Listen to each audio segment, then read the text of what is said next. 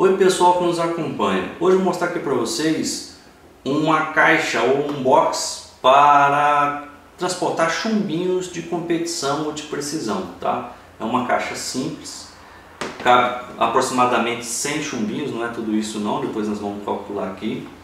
Aqui em cima tem uma espuma, tá? Para não deixar chacoalhar os chumbinhos e vou mostrar uma grande, coloquei esses poucos chumbinhos aqui para falar o seguinte. Quando você abre, o chumbinho solta para cima. Fica fácil de você tirar, ok? Tira aqui, é muito fácil. Mas se eles ficassem assim, eles iam cair dentro da caixinha, ok?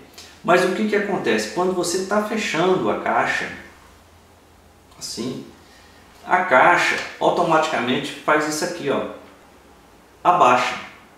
Olha só como é que fica o chumbinho, ó. Tá aqui em cima, né? A hora que ele abaixa, os chumbinhos ficam super protegidos, tá? Olha lá, Não chacoalha, porque isso aqui não deixa chacoalhar, eles ficam separados e não danifica os chumbinhos. É um produto caro? É caro. Não é barato? Não. Vou falar uma coisa para vocês, não achei barato.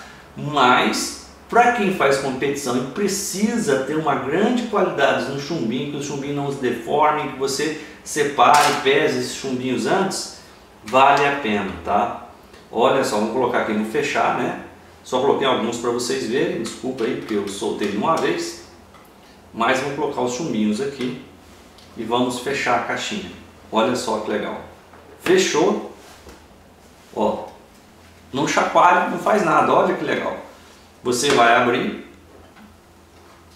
o chumbinho sai para cima. É muito legal. É isso aí pessoal, muito obrigado, até a próxima.